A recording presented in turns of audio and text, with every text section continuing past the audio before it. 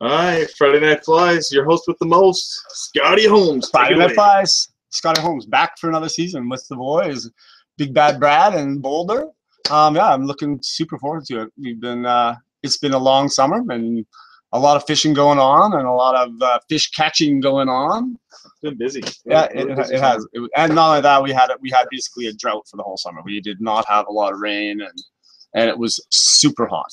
All been summer. some really good fishing, I'll tell you that. but much. there was some really really good fishing so um yeah tonight i'm tying up a, a really simple egg pattern for you I, I used it for the whole end of the well not the whole end the the whole coho or sorry uh, sockeye season um and which is ending up now and, and fish are basically off the river but i've still been catching fish with this fly Well, the So- pink, the pink wrapped up. They wrapped up just after the sockeye did, and uh, now the coho's starting to roll in. You could use this pattern with the once the coho starts spawning. Yeah. And when the chinook actually were in the river first, we started using it just as the Yeah. sockeye were rolling in. It started Yeah. to really, really work. Yeah, it definitely it, it definitely picks up for the sockeye. Like that's definitely Oh. when when this pattern really It's a numbers yeah, game, Yeah, right? yeah, When there's More fish. 180,000 sockeye in the river, they get pretty accustomed to eating egg patterns. yeah.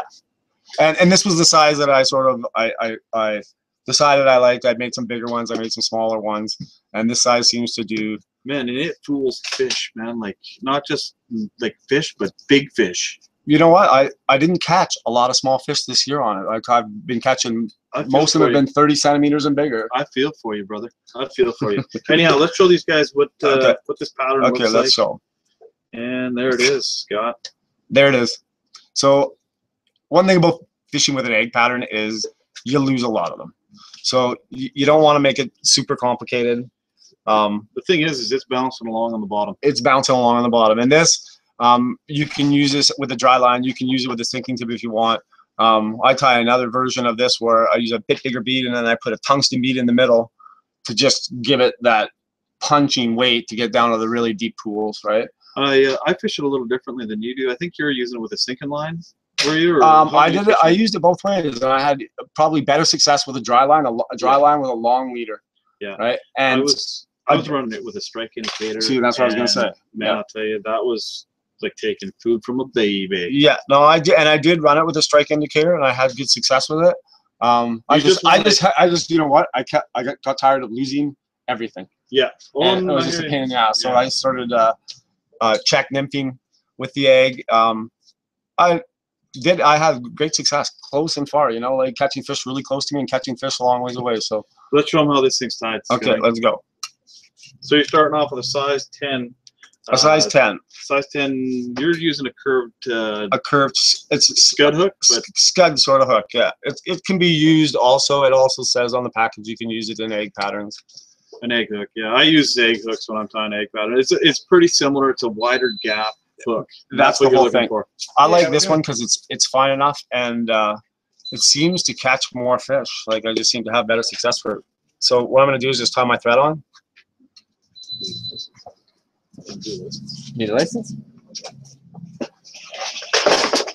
Uh, how many people walk into your store with carrying uh, these things, eh? Lots of people outside this time. Yeah. Yeah. Customer just walked in with his gun, just in case you guys are wondering what he's walking in with. Yeah. Yeah. How many people walk in with a gun this time of year? Well, it's hunting season. Yeah, the Lots of last the last guy took his gun out and he had live ammunition on the side of it. What Walk into the store. what a redneck. Yeah, And we weren't too alarmed of it because it's pretty pretty common this time of year. Anyhow, you're looking Okay. to get uh, so we not put a big happening. glob of uh, UV resin on there, and I'm just gonna start spinning it around. All right. If you want to leave it with me, I'll get it done first thing in the morning. Or are you going first And thing? no, Okay. it's all good. Are you okay? I don't with want it or- Really yeah, I was just seeing it. I just uh, wanna get it get- foresighted.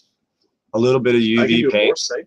Oh, yeah. on the whole You can bead. use the tools over there. and the parts of the bead that are going to be taking the smacking. Like, there's two reasons for the UV paint. One, to protect the bead. So anybody that's fished a bead egg pattern knows that the bead doesn't hold its paint for very long. For a very short period of time, as a matter of fact, depending on how you're fishing it. And so you get the UV paint on there. a nice little thin coat, just enough to protect it. Hey, we'd also like to add that uh, Loon Outdoors, we absolutely love your products and use them regularly. Yes, we do. They have a great lineup of products. Check out their website. I believe it's loonoutdoors.com. Great lineup of products. Nice, nice punch there, man. That was really good. Sign down here. Okay, so now that that's cured, I think my light's dying because it seems to always be a little bit tacky. I think I need a new battery, but um, This one's got two spectrums if you want let's try that. to. Just, I think it's hard. It's just a little bit tacky. That, that one's got two spectrums in it.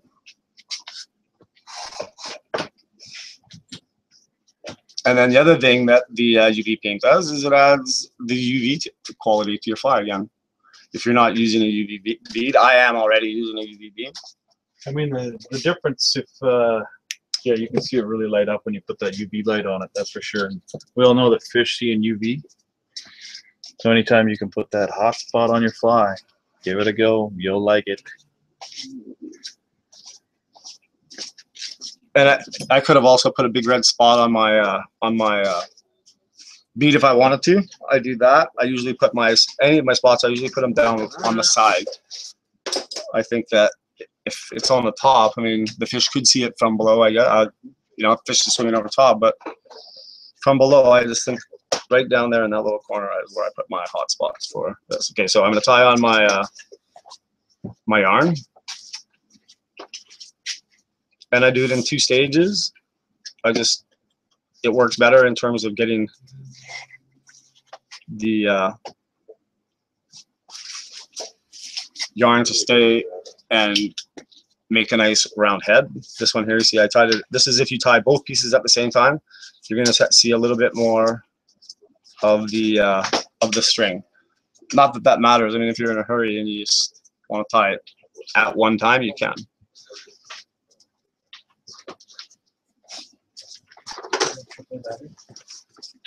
Just get a little bit more rounder of a profile or tie it.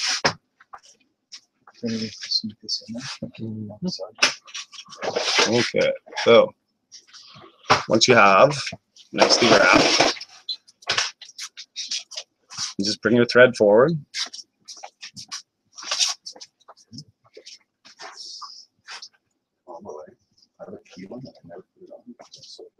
And I just, I do quite a few wraps. I want to build it up, make sure that everything sort of has a little bit of staying power. It is bouncing on off the bottom all the time, so.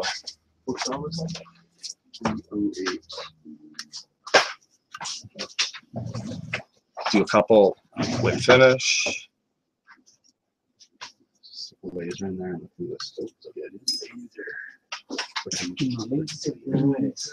Okay, and then you trim it.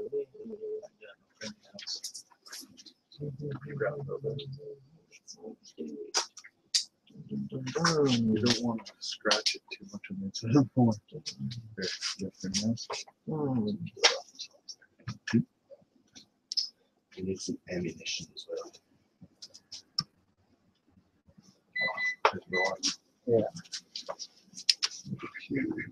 So, spin it around, see how it turned out.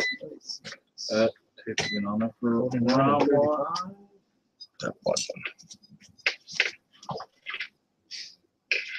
Got a Machine there for you.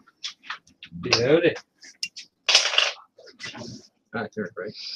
It adds to the ambiance. You know, people that complain about all that. I'm like,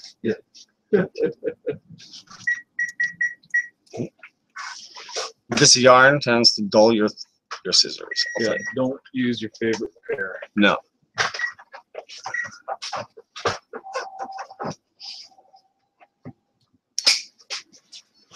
There you go. Done. And don't be fussy. They don't like they don't have to be perfect. The one I that my first example was I probably had a little bit better. Like water. But yeah. Sorry about that.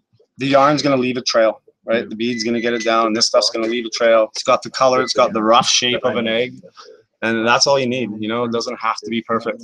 And sometimes I think the ones that um the perfect ones don't catch as many fish. I've tied these with little pe- little streamers of uh, of uh, uh, fibers off the back, and uh, it's on them a lot bigger and a lot more circular. And you know what? Like, like I said, this this is the simplest way to tie them, and they work. So I think that's key. Brad's back again. There, uh, working with rifles. Oh, what you, oh, look at that. Look is, at that. that. is that the fly we t- started with, or is that the one you just No, finished? that's just the one I just done. It's, Man, it's finished that's now. quick. Okay, so what do you, we want to go up top? I guess so. Yeah. Did you give it a rotate? Yeah. Okay. Well, I'll rotate it real quickly. Oh, that's a sexy pattern. Fooled Yeah, me. if you wanted to, you could you could put you could go with a red sharpie now, and you could put in add a little bit of color into it. the hot spot on the top. I don't add my like I said, I like the hot spot down on the side where it's more likely to be seen, right? Yeah, totally. Okay, let's go up top and let you sign her out. There it is. There it is. Well, um, so there you go. There's an egg pattern. Like I said, you know, there's there's you know multiple ways to fish it. Um, I personally check nymph it most of the, most of the time. Um, Brad, I de- definitely is uh, is using the strike indicator. I have mastered the art of strike indicating the uh, egg pattern. Yeah. I've had like 30, 40 fish afternoons on the Birkenhead River. Uh, I mean, not the Birkenhead River. Did I just say the Yeah, you Birkenhead just, River? you just No, said I just said the yeah, Birkenhead yeah, River. yeah. Oh. So yeah, no, and, and it worked great for me all fall. Um, I, I, I recommend trying it. And uh, uh, as I said, I also do a version with a bit bigger, with a bit bigger bead, and then I take a really small tungsten bead, put it in the center, and then tie this on the back of it again for that extra weight. Then I don't, that- then I don't need lead. I don't need any of that. It's a, it's a bit of a flip cast. It's not a nice cast. Even this is a bit of a flip cast. It's pretty heavy. Yeah. That's a pretty big bead, pretty big bead on there. So, um, but yeah, you know, long leader, get it deep in those pools, and you're gonna catch some big fish. That's for sure. Well, Scotty Holmes for the first tie of the season. Um, glad to be back. Glad to be back with the boys on Friday night. Yeah, That's right. Friday night. yeah, Friday night flies. So uh, until next tie, Scotty Holmes.